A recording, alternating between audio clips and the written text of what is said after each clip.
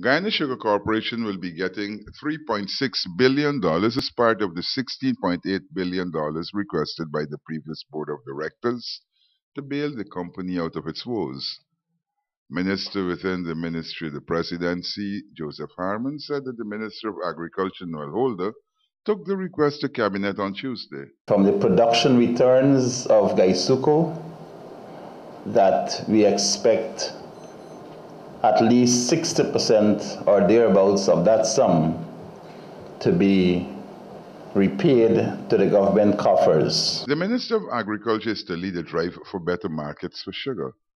The government is contending that the reliance on the European market must be reviewed. A number of countries to which um, our sugar is sold, but that we needed to have a better and a deeper appreciation of those particular markets so that we can get a better price for our sugar.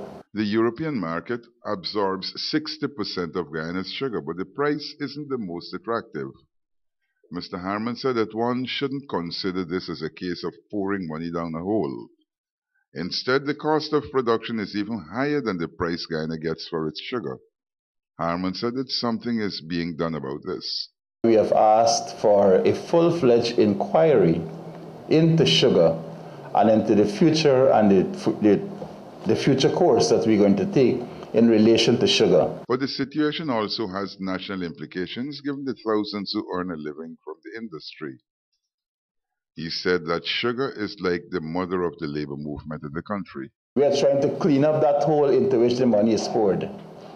As a result of some changes that we have made, um, we've actually been able to save insofar as certain fees that are paid to people within GuySuCo are concerned, at least 14,000 US dollars per month.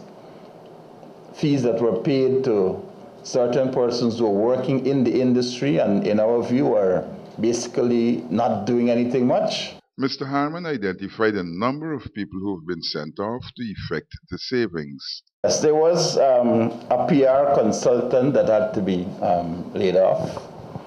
There were some um, Indian nationals. Um, I think there were some engineers at Skeldon who were who were there and um, seemed to have been doing nothing much in relation to sugar. And so I think the combined effect of those two groups um, amounted to almost 14,000 United States dollars per month. The government is also looking at other measures to reduce the operational costs.